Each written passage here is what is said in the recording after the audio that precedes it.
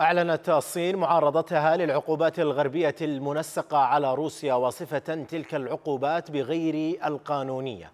الخارجية الصينية وضحت بأن العقوبات الغربية على روسيا لا تحل المشكلة بل تخلق مشكلات جديدة. كما دعت الصين جميع الأطراف إلى التحلي بالهدوء وتجنب المزيد من التصعيد مؤكدة بأن موقف الصين بضرورة أخذ المخاوف الأمنية المشروعة لجميع الدول بجدية. في محاولة للضغط على الصين تسعى واشنطن لتحديد موقف بكين من صراع الغرب مع روسيا وذلك بحسب تأكيدات وول ستريت جورنال التي نقلت عن مسؤولين أمريكيين قولهم بأن إدارة بايدن ستجعل الصين تدفع ثمن علاقاتها الوثيقة بروسيا في الحرب على أوكرانيا وأن واشنطن ستعاقب بكين إذا انخرطت في أنشطة تقع ضمن العقوبات على موسكو. رفضت استخدام مصطلح الغزو الروسي وامتنعت أيضا عن التصويت لمشروع إدانته واعتبرت بأن الخطر الحقيقي يأتي من الولايات المتحدة. موقف ومواقف أخرى تتبناها الصين في التعبير عن دعمها لروسيا. نتابع. الصين دعمت روسيا خلال المرحلة الأخيرة من خلافها مع الغرب حيث اعتبرت ما طلب موسكو بتقديم الناتو ضمانات أمنية أمرا مشروعا. وأوضحت على لسان مسؤوليها أنه يجب إلى اهتمام لتطلعات روسيا المعقولة وتلبيتها بشكل مناسب. ومع التطورات الحاصلة في أوكرانيا رفضت الخارجية الصينية وصف العملية العسكرية الروسية بأنها غزو وصفة المصطلح بالمتحيز. الموقف الصيني انسحب إلى أروقة الأمم المتحدة حيث امتنعت بكين على التصويت لمشروع إدانة الغزو الروسي لأوكرانيا.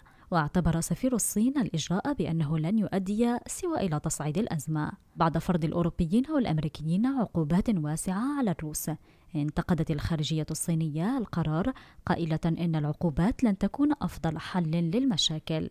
أما أحدث موقف من بكين فظهر في انتقاد مباشر لواشنطن حيث أكدت سفارة الصين لدى روسيا أن التهديد الحقيقي للعالم هو الولايات المتحدة. من العاصمة الفرنسية باريس يلتحق بي الدكتور رامي الخليفة العلي الباحث في الفلسفة السياسية ومن بكين عبر سكايب السيدة سعاد يي تشينغ الصحفية في مجموعة الصين للإعلام للحديث عن تداعيات هذه الأزمة. سيدة تشينغ. يعني أبدأ معك اليوم الموقف الصيني. كيف من الممكن أن يفسر والصين لديها أيضا كثير من الخلافات مع الولايات المتحدة في السابق؟ هل الصين تقف إلى جوار روسيا في هذه الحرب؟ أهلا بك واهلا بكل المشاهدين مساء الخير. حول في قضية أوكرانيا أكدت الصين مرات موقفها الثابت. مثلا خلال المكالمات المكالمة الهاتفية بين رئيس الصين شي جين بينغ ورئيس الروسي فلاديمير بوتين. كان حيث قال رئيس الصين شي جين بينغ أن الصين تعمل في حال القضية من خلال الحوار والمفاوضات.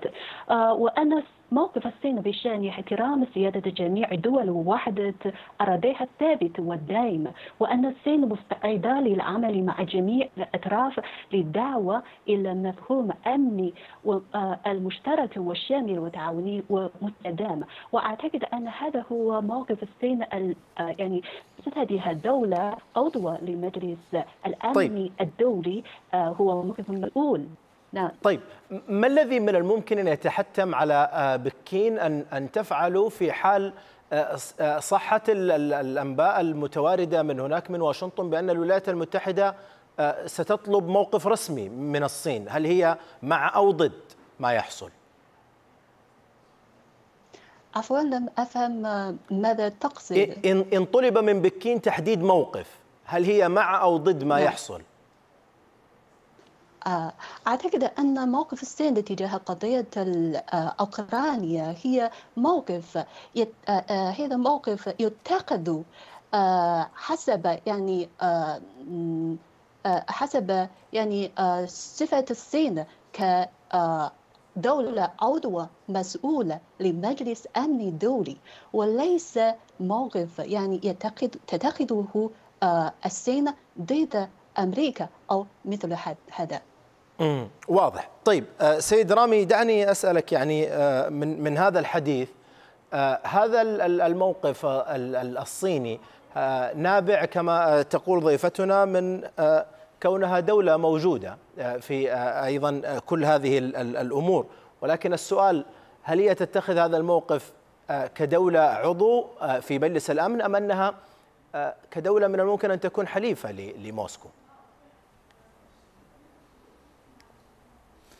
أهلا بك هاني تحية لك ولضيفتك ولمشاهديك الكرام. هنالك عدة محددات من الواضح أن الصين ملتزمة بها المبدأ الأول وهو مبدأ الحياد كما تعلم في كل القضايا والخلافات الدولية خلال العقود الماضية. كان هنالك موقف حيادي نسبيا بالنسبة للصين ولم تتخذ موقفا إلا عندما كانت هذه الأزمة تمس مصالحها بشكل مباشر. هذه النقطة الأولى. النقطة الثانية هنالك إدراك بأن حالة هو تفصل ما بين الصين والغرب وعلى رأسه الولايات المتحدة الأمريكية. وبالتالي الصين تقف في المرحلة الثانية أو ما بعد روسيا. فإذا حدث انهيار للنظام الروسي وإذا حدث ضعف شديد لروسيا فالصين سوف تكون المستهدف الثاني.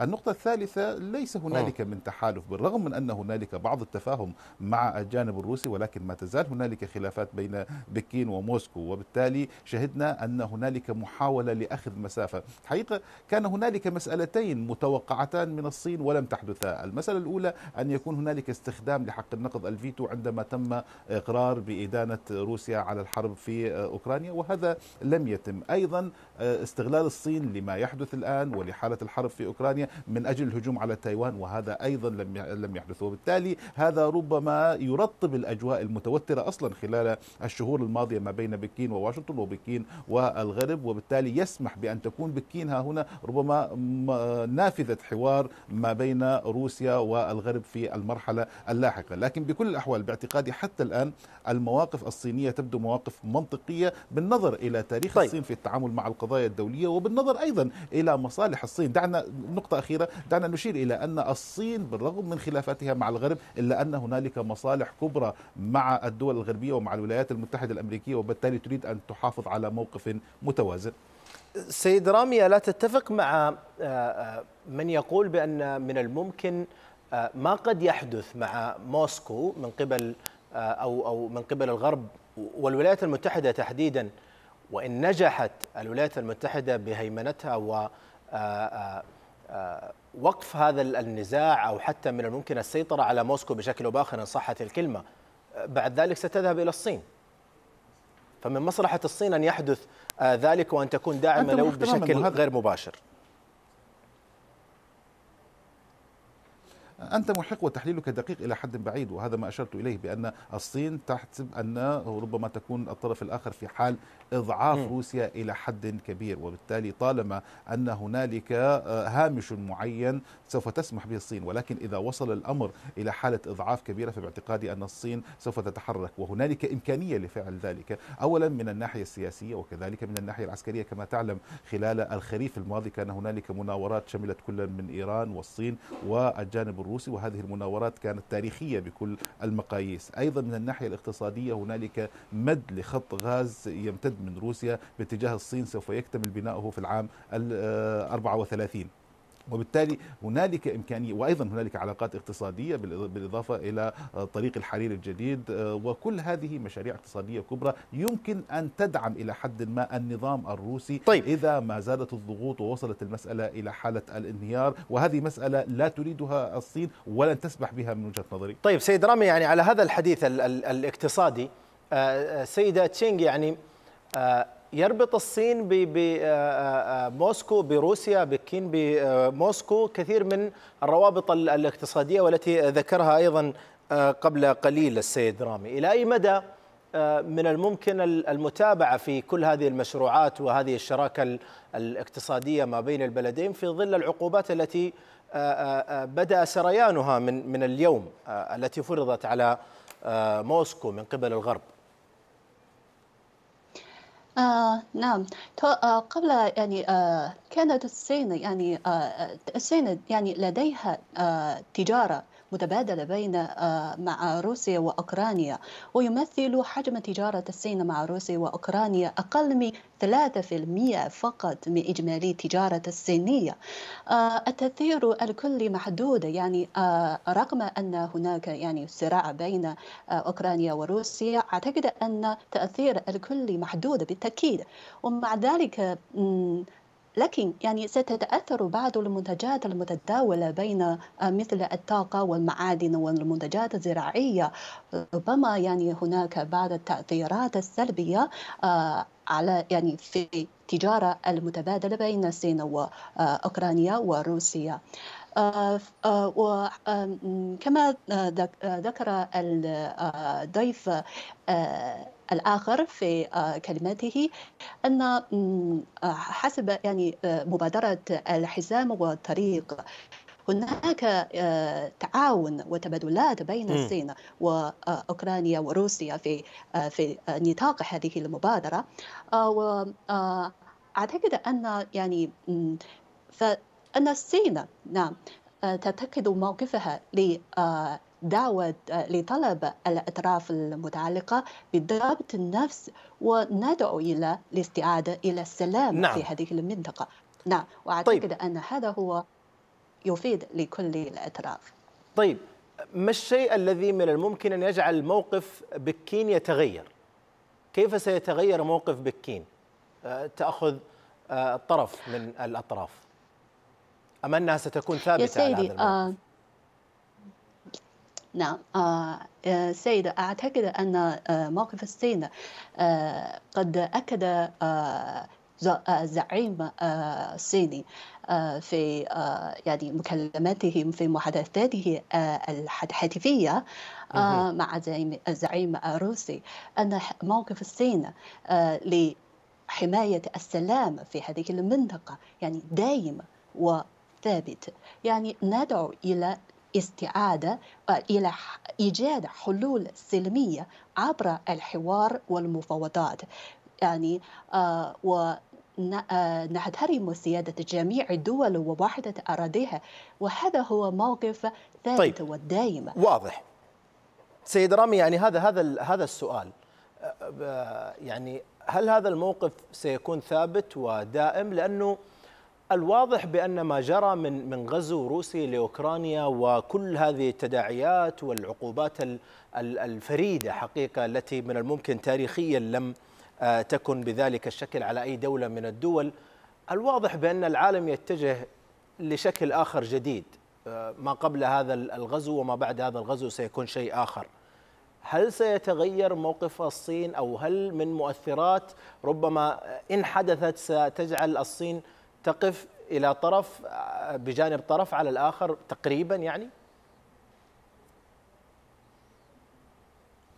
بحسب تطور الأحداث باعتقادي إذا ما استطاع الجانب الروسي بالرغم من أن كما ذكرت هنالك عقوبات غير مسبوقة ما يصل إلى حد الحصار للجانب الروسي وبالرغم من أن هنالك مقاومة أوكرانية غير متوقعة شهدناها خلال الأيام القليلة الماضية وأضف إلى ذلك أن هنالك حشد غربي موحد أيضا وهو يمثل حالة فريدة آه، خلال السنوات الماضية بعد كل الخلافات التي شهدناها ما بين ضفتي الأطلسي.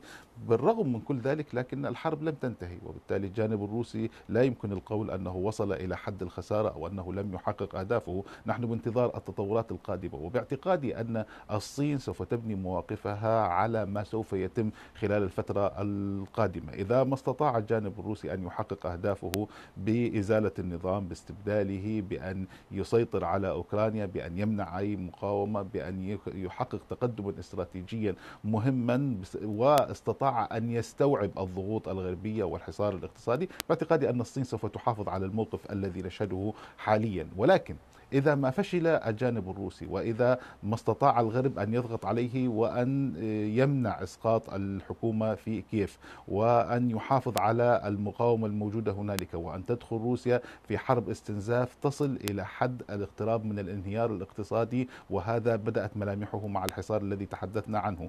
إذا ما استطاعت الغرب أن يتقدم استراتيجيا وأن يحتوي روسيا وأن يضعفها باعتقادي بأن الصين ربما يمكن أن تأخذ موقف أكثر إيجابي إيجابية بالنسبة للجانب الروسي أن تساعد الجانب الروسي سواء من النواحي الاقتصادية وحتى من النواحي السياسية طبعا من المستبعد تماما أن تتدخل الصين من الناحية العسكرية ولا أعتقد أن الروس بحاجة إلى المساعدة العسكرية ولكن المساعدة السياسية المساعدة الاقتصادية كل ذلك يمكن أن تقدمه الصين في حال شعورها بأن الضعف الروسي أصبح م. كبيرا وبالتالي طيب. الأمر كله مرتبط بالتطورات القادمة في هذا الملف طيب سيد رامي دعني أسألك عن نقطة مهمة يعني من استشفيتها من حديثك.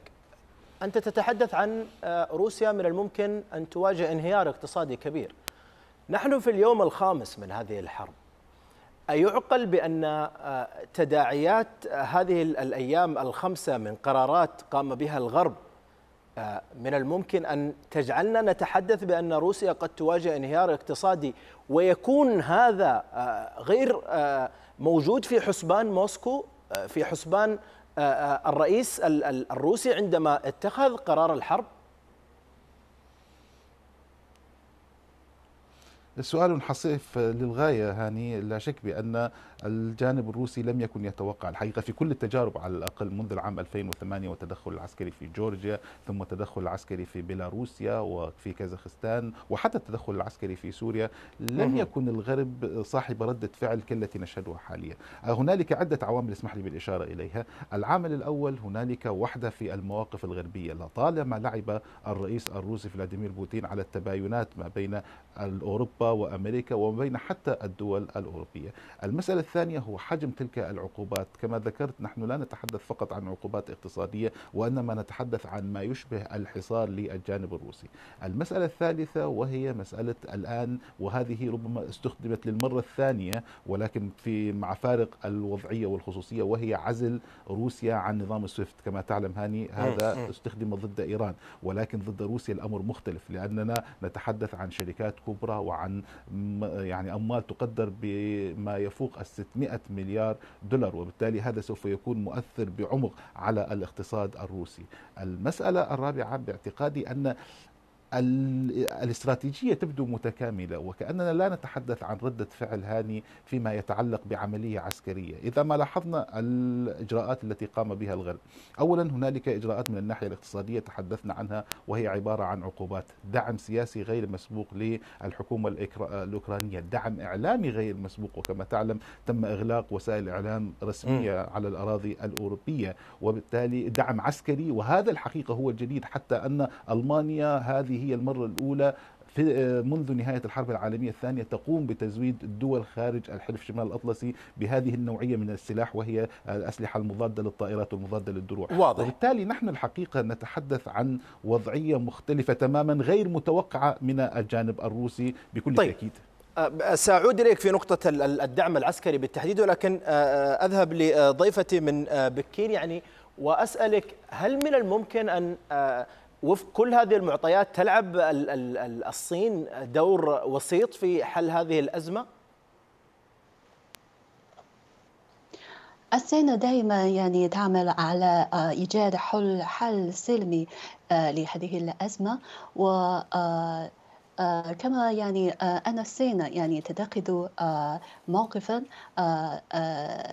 يدعو إلى استعادة المفاوضات والحوار بين الأطراف المتعلقة بهذه القضية. وأعتقد أن يعني هذا هو يعني كما يعني من الضروري تعتقد أن الصين يجب على الأطراف المتعلقة وخاصة لحلف الناتو إعادة النظر في موقفه ومسؤولياته. ويعتقد أنه ينبغي التخلي تماما عن عقلية الحرب الباردة القائمة على مواجهة الكتلة كتلة نعم.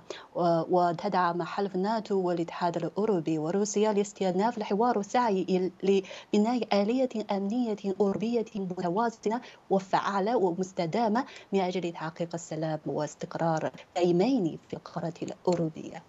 طيب سيد رامي يعني في حديثك عن الشق العسكري والدعم العسكري من قبل الغرب عموما سواء الولايات المتحدة أو حتى الدول الأوروبية يعني من بداية الأزمة لاحظنا بأن هناك إن صحت العبارة تصاعد في موقف الدعم. في البداية لم يكن موجود أيضا مجرد أي دعم حتى دعم ربما أيضا معنوي. لم يكن هناك حديث أيضا عن انضمام أوكرانيا لحلف الناتو. بعد ذلك تصاعدت نبرة الدعم من قبل الغرب عموما ووصلنا اليوم إلى دعم من الممكن أن نجد مالي من قبل الولايات المتحدة وعسكري بالمعدات العسكرية لأوكرانيا من قبل أوروبا. السؤال هل من الممكن أن نشهد تطور أيضا في هذه السلسلة ونشهد تدخل بشكل أو بآخر من قبل حلف شمال الأطلسي والولايات المتحدة في هذه الحرب بشكل مباشر ام أن هذا مستبعد تماما؟ كإجابة مباشرة؟ لا. لا أعتقد ذلك هاني باعتقادي أنه حتى مع كل الدعم العسكري الذي شهدناه آه، خلال الأيام القليلة الماضية مع اندلاع الصراع واندلاع ما يسمى غربيا الغزو الروسي لأوكرانيا آه، كان هنالك دعم عسكري كبير للغاية وغير متوقع في الحقيقة. لكن اسمح لي أن أعود إلى النقطة التي بدأت بها وهي التدخل العسكري المباشر. التدخل العسكري يعني أن هنالك حرب مباشرة ما بين الحلف وما بين الجانب الروسي وهذه الحرب محفوفة بكثير من المخاطر ولا أحد يستطيع ضمان نتيجتها وبالتالي هذه الحرب باعتقادي أنها أن جميع الأطراف غير مهتمة بالدخول طيب فيها. سيد رام بس اسمح لي عند هذه النقطة. هذا أمر مستبعد. حتى الحقيقة الولايات المتحدة لم يعني حقيقة أنت يعني حديثك يعني ذو شجون يعني فبالتالي آه، أنا أتداخل معك بشكل دائم يعني اعذرني على المقاطعة لكن هذه النقطة بالتحديد بوتين في تصريحه الأول هدد الغرب بشكل كبير جدا وحتى أنه قال بالحرف الواحد سترون رد لم تشاهدوه في تاريخكم.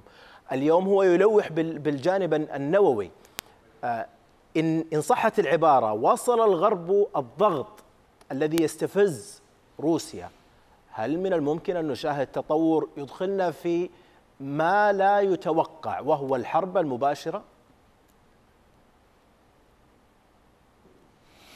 باعتقادي أن الجانب الروسي أيضا غير معني بذلك بالرغم من التصريحات بالرغم حتى من حالة التأهب النووي التي أصدر أوامره خلالها الرئيس الروسي فلاديمير بوتين. لكن مع ذلك لا أتوقع أن الرئيس الروسي يريد أن يفتح أبواب الجحيم والدخول في حرب مع دول حلف شمال الأطلسي لأن ذلك لن يحقق أي من الأهداف التي يريدها. هو يريد أصلا منع أوكرانيا من الانضمام إلى الحلف حتى لا يكون هنالك قدم سبق من الناحية العسكرية والإستراتيجية لدول الحلف. يختلف وبالتالي لا أعتقد ورئيسة المفوضية يعني سيد رامي اسمح لي ذكرت بأنهم أصل أصل رئيسة المفوضية أنت تعرف بأنها صرحت بأنهم يعني ربما مرحبون بشكل أكبر يعني وألمحت إلى أنه من الممكن انضمام أوكرانيا أكثر من أي وقت مضى.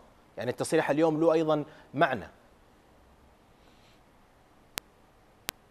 صحيح تماما وهذا في إطار ردة الفعل لكن في نهاية المطاف في حال استمرار الحرب في أوكرانيا باعتقادي أن الدخول أو ضم أوكرانيا إلى حلف الشمال الأطلسي يعني الدخول في حرب مباشرة مع الجانب الروسي وأرى أن ذلك مستبعد للغاية. ولكن ما دون التدخل العسكري المباشر باعتقادي أن الدول الغربية بشكل عام تفتح كل الإمكانيات كل المساعدات من الناحية العسكرية. والحقيقة اسمح لي فقط التوقف عند نقطة هنا وباعتقادي أنها على غاية من الأهمية وهي طبيعة الدعم العسكري الذي يقدم الآن إلى الجانب الأوكراني. صحيح وانت كما أشرت منذ بداية الأزمة كان يتم الحديث عن دعم عسكري للجانب الأوكراني ولكن ما لاحظناه خلال الأيام القليلة الماضية. اولا يتم الحديث عن صواريخ جافلين عن صواريخ ستينجر وهذه الصواريخ تستخدم في حرب العصابات أكثر من كونها نعم. تستخدم في الحروب الكلاسيكية وبالتالي وبالتالي الغرب يشجع أوكرانيا على الدخول في حرب عصابات ربما تستمر لفترة طويلة وتستنزف وأنت تعرف سيد رامي بأن هذه هذه الصواريخ بالتحديد هي من كانت تجربة مريرة في أفغانستان.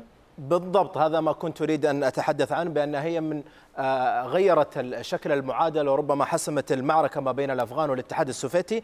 آه، أذهب إلى ضيفتي من آه، بكين يعني واسالك بشكل أخير يعني.